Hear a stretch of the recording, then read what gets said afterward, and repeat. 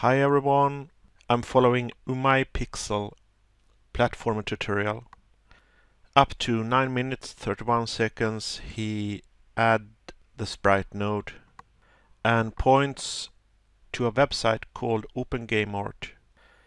Michel Bucelli has created some really great game arts.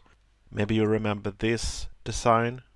I made a small tutorial previously that video was figuring out how autotile work and here we have the same character and this was a tutorial from Heartbeast and now I'm following a tutorial from UmaiPixel and he uses the same game art from Buck or Michel Bucelli. I'm very sorry if I don't pronounce it right. Anyway, what I want to talk about is that UmaiPixel has splitted a sprite sheet to separate sprites. And he has even renamed them. But if you want to download the sprites separately from Buck then I'm sorry you can't. Because it's one file. You could do an animated sprite and define a small frame area in that animated sprite. I'm of course talking about a node in Godot. There is one thing that I want to explore and if you understand what I'm doing then I believe you will think that this is pretty awesome. So let's add an animated sprite 2D, node 2D, and you simply create a new sprite frames and click it. I downloaded the sprite sheet in assets and drag and drop in here. Right, they are blurry. So let's try this. Select import, preset, 2D pixel, and then select re-import. And now the blurriness is gone. Alright, what you can do is you add frames from a sprite sheet. And I believe the default is 4 by 4 but it is 4 rows. If you count one row, you will find 23 characters. So let's type 23 and now it looks pretty good. Then you click the first one, hold down shift and click the last one and you get everyone selected. Then add 73 frames. So now if we click animate sprite we can cycle th through the frames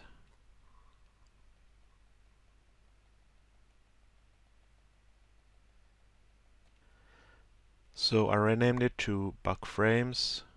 Let's select Buck Frames and we go down to Script and New Script. And we choose C Sharp, of course, because I love C, C Sharp. Buck frames are derived from animated sprite, meaning we have access to features of animated sprite or buck sprites. What happens if we choose get sprite frames? Alright, it is deprecated, so you use this instead. We have an animation name and a frame number. I don't know if it's zero based or one based. Alright, I think it's zero based. The animation name is default. Let's set up the C Sharp debugger I need this in order to be able to see what is going on. And guys, it is such a powerful tool to use a debugger and I highly recommend it. So you simply copy the port, then you go to run, open configuration, C sharp mono, paste the port, and then save. Then you go down to the run section, I think, and you select attach, not launch. It may have a glitch in the beginning. It happened before. So let's set a breakpoint here and press run. And now it is waiting for Godot. So we need to run we need to run Godot in order to debug. Alright, so now we are in in the C Sharp editor and we have stopped at the breakpoint and this is a sprite frame object and we can see all the information. Now let's go down. Let's watch the TX. Alright, you can't use drag and drop. So now you can see the region. It is 32 by 32 and I know this is the right size. And here we have the sprite guy. Let's close this one because I want to show you something really awesome. So an animated sprite has several frames and I did some tweaking here just some testing and I just added a sprite. If you get confused so don't worry about this. I renamed default to anim1 and then I created a second animation. And I'm going to add characters gray and that is I just uh, converted this to a gray image. So horizontal 23 and 4 rows and select the first and hold down shift and select the last. Add 73 frames. Let's fix this blurriness. Characters gray PNG. Preset 2D pixel. Reimport. And let's check this. I don't know, it looks blurry to me, but maybe this was because I converted to grayscale and the image program did something, I don't know. Alright, so I have two animations. So what I want is anim1 and anim2 printed. Let's set the breakpoint here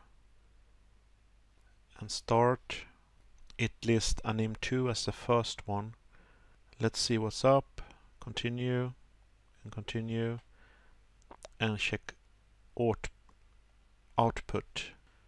So this must be the textures.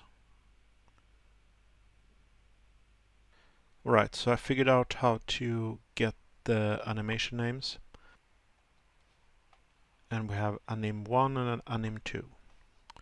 So now I can use the animation name to get the number of frames because we are going to iterate through the frames. If we use get frame it will return a texture and a texture can have these type of textures and now I get the atlas texture. If we take my sprite and remove the texture we can try to copy the texture from buck frames and see what that looks like. And I want to use the Atlas texture return from get frame and current animation. The name is my sprite and notice that I have the script in book frames. So we need to go back to kinematic body and find the node my sprite and that is why we need to use get parent and then get node my sprite. And then we simply set the texture to the atlas texture. It will break the current animation name and it will break the current frame. And that simply means it stops everything. It prints the first frame. So this is how you get the whole sprite sheet. we use ATX2 and it and I simply convert to a stream texture. So now we have the whole sprite sheet displayed and it is of course outside the window, the region of the window. What I want to do is to get the image data from this texture to do further manipulation specifically on the image. Sometimes when you debug the debugger will not attach. So this is what happens right now. It doesn't open the Visual Studio Code editor. To fix this you press open resource monitor or the task manager and press V and you end this process. And now you can click attach and the debugger will wait until you start Godot, play and doesn't work. I don't know what's going on. Alright, so now it seems to be working. So now let's check what we get in the image. And the image is initialized. So you may be wondering why don't I use ATX1? Let's try this. Should step over and see what happens image is null. I don't know if this is a bug, but this is why I get the whole atlas texture or the base texture. Now let's get the size of the sprite and this is the ATX1 and we know that this is the current frame not the whole sprite sheet and we get the size and then we get the position. Wait a minute, we get both the position and the size. So we don't need vector 2. So basically what we did, if you see this one, we are the in the we are in the first loop, the first animation and the first frame. And we get the start position where that frame is location, located, where that frame is located, and we get the size of the frame. Then we grab the whole atlas texture and use that data to find the start location and that is here 0 0 and the size.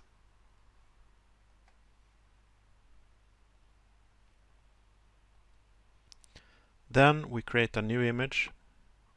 And whenever you create a new image, you need to fill it with empty data.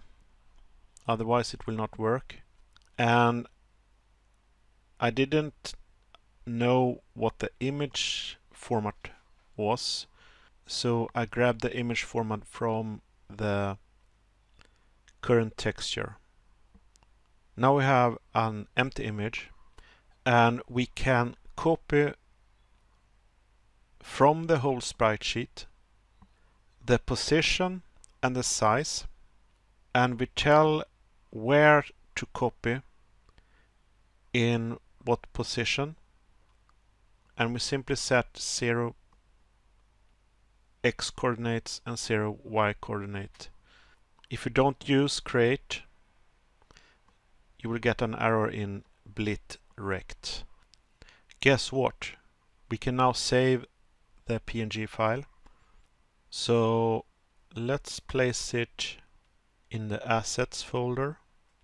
I'm not sure if this works, but I want to create a directory in the assets folder and it should be the animation name. And I think this is how you do it. Let's try this first.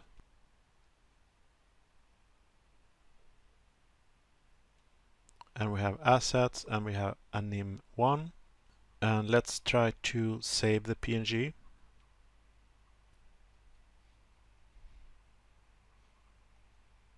anim1 and we have the PNG here. For some reason it creates an import file also. Not sure what that is about. So then why not remove the breakpoints and just let go.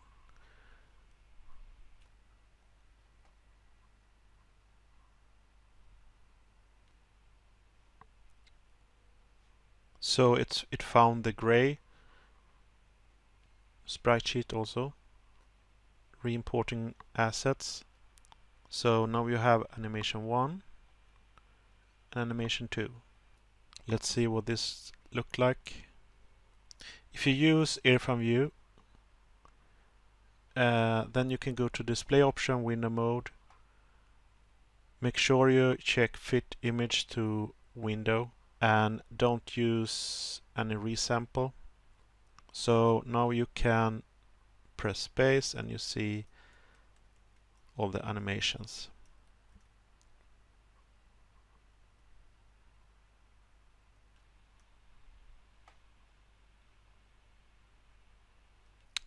Anyway, thank you for watching and I hope you got something useful out of this.